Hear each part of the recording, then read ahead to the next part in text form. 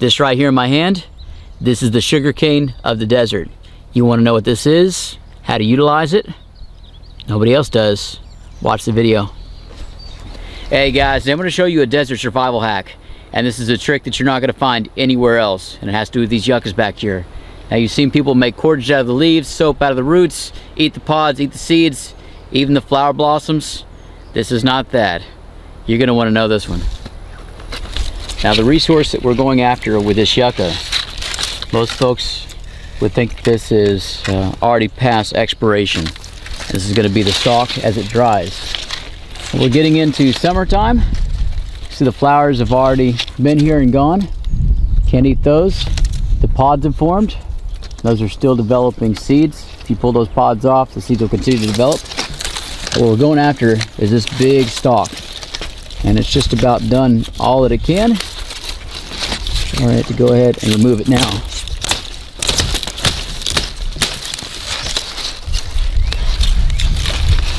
That's what we want.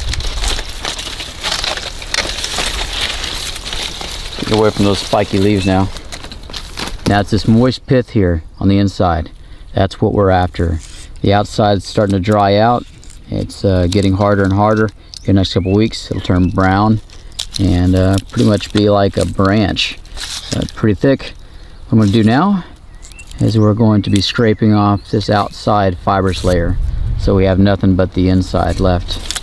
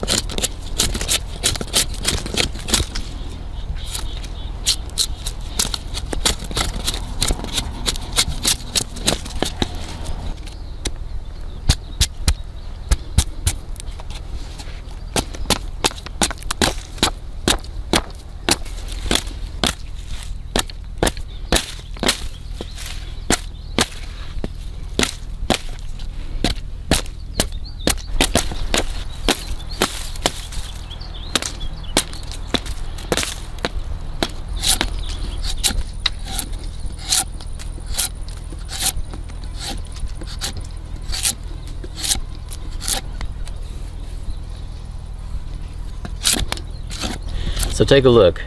This is close to two pounds. There's a lot of liquid still left in this stalk. This is the prize right here. Now it's time to show you exactly how we can use it and why we went through this effort. Now this is the enjoyable part. What you're going to want to do is shave off bits. I like to call this the sugar cane of the desert. Right? It might look like a piece of woody bark, Still feel a lot of moisture in there. It's even better if you get this right after a good rain. So all you got to do to enjoy it now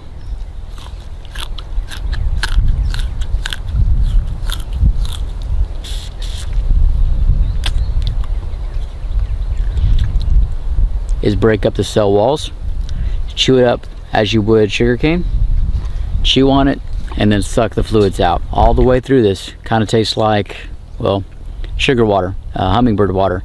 Take a little bit of nice cool water, put a little bit of sugar in there. Tastes like fruit juice. No bad aftertaste. If you're needing water, if you're needing sugar in the desert, in a survival situation, you always need sugar. This is a meal and a half right here. So just shave off parts and pieces, chew on it, take it with you. As long as it stays fairly hydrated, you're gonna be good to go. But it's just like sugarcane. You crush it, get the sugar out,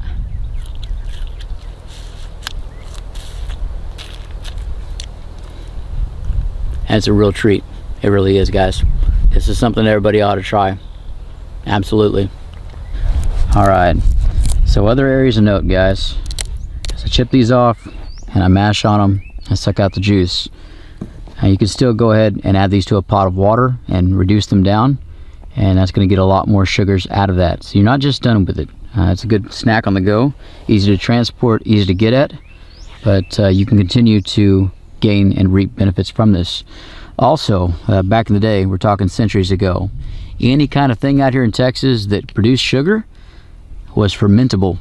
So this right here, there's a lot of old stories where they left the woody stalk on here, cut it up into sections like this, threw it on the fire, gave it a good bake, which made it mushy on the inside, and then left it for two or three days. And what that does is it breaks down all the sugars all the way through there, starts up the fermentation process, and what you are left with afterwards is a extremely alcoholic sour mash. And so that's uh, primitive alcohol. Now, drinking is not everybody's thing, but when you're playing the survival game, making alcohol is just another way to preserve things. And uh, your body does know how to make alcohol into calories. It's just another way to keep your weight up and keep going. I'm not saying go out there and get smashed drunk out in the woods. Uh, don't, especially in survival. But uh, diversify your foods, diversify your calorie loads, and change up and try and balance out as much as you can. Uh, nothing's going to be ideal, but when you have excess, make the best out of it.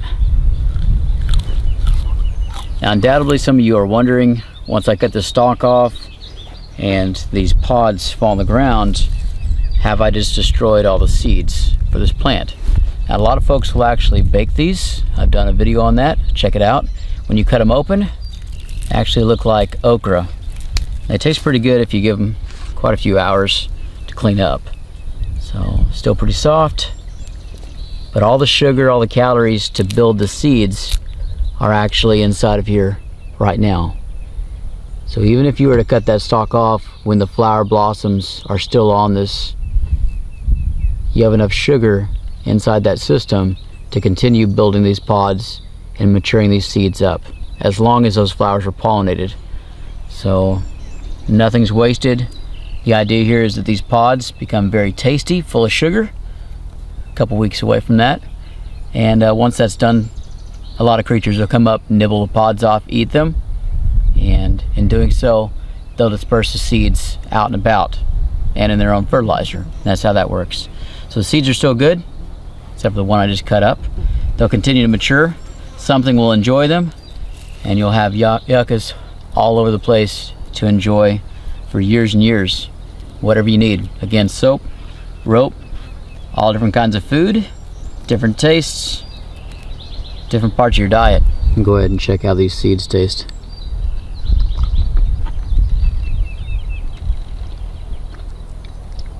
Initial taste is good. Not bad. Starting to lose that chemical flavor. These are almost mature. One of the big lessons that I like to teach out here in desert survival is that the plants that have the most armor, the most deterrence, usually have the most to lose. So when you look at this plant, you try and figure out exactly why it's built these things. What is it trying to protect? The leaves, full of fiber, saponins, that's no good. The roots are full of soap and saponins, nothing can eat those. So all this armor here is just to protect the stalk and the pods. There's that many calories, that much sugar. It's that important to this plant to make sure that those things are not eaten. And so when you go through the desert, when you look at the plants and the creatures around, try and figure out why they're designed, why they look the way they do, and how that can help you out.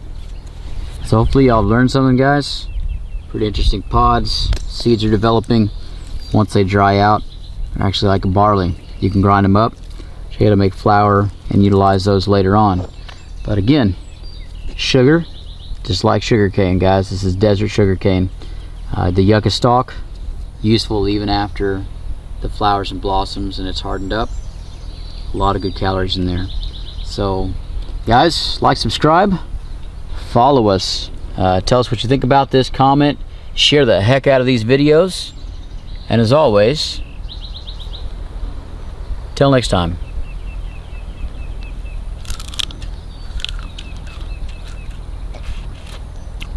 It's good stuff. Find yourself surviving out the desert, trying to beat the heat, stay hydrated, pull you up some shade in the middle of the day. Find you a yucca stalk, Enjoy some yucca juice. Be way ahead of the game. A bad way to spend an afternoon though.